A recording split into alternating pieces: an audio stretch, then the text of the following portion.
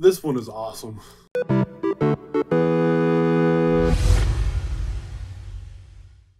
Tree of Might was my first DBZ movie, but this, its sequel, Bardock and Trunks' films, were screened throughout September once on Toonami when I was a kid, and my brother taped them for me like with the VCR, and seeing them was a blast for me and thrusted me further into my love for DBZ. I still have those VHS tapes recordings, and I would watch these four all the time. This one's special to me. When that incredible soundtrack goes, I just smile consistently there's a lot of music, but it never feels out of place. It's seriously just straight fire, and I sound like an old millennial trying to say the cool lingo like that, but it truly is, and that's just an apt way to describe it. I'd say my two complaints are that the audio mixing on this Blu ray is off. And maybe it always has been, but whenever the music plays or over someone speaking more than a quick phrase, it's hard to hear. Adjusting my TV settings helped, but I shouldn't have to do that. Number two, Goku going Super Saiyan is great, looks great, and starts off great, but it ends things a bit too swiftly after such buildup. I was ready for more of a brawl. The beam struggle is really great though, it's just a little bit rushed,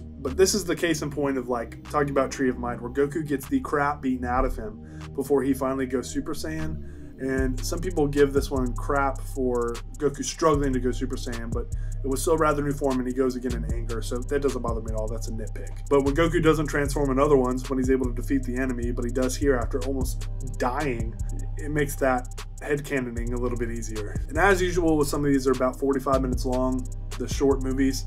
It could have used another 10 to 15 minutes to flesh things out a little bit more.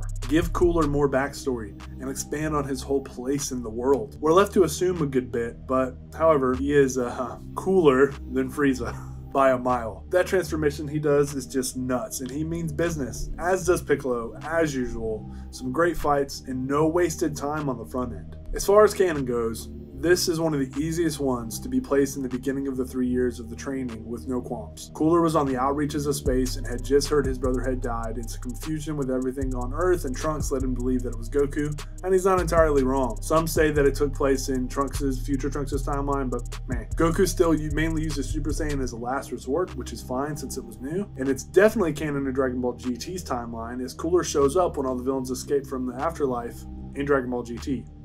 It's refreshing to have one so easily fit. Dead Zone isn't hard to either, but this one is pretty seamless. Dang it, Icarus is here, and the Tree of Might is referenced. How do I make sense of that? Again, they're their own timeline, I guess. The Z Fighters really need to give up camping though, because everything bad happens when they do. Man, where's Vegeta? He would have been great to see in this. More on that later. I give Dragon Ball Z Cooler's Revenge four and a half out of five stars. I love these movies, man. They're just so much fun. And this, this has been such a nostalgia trip for me. And it's because of that, it's really easy to always look for the good.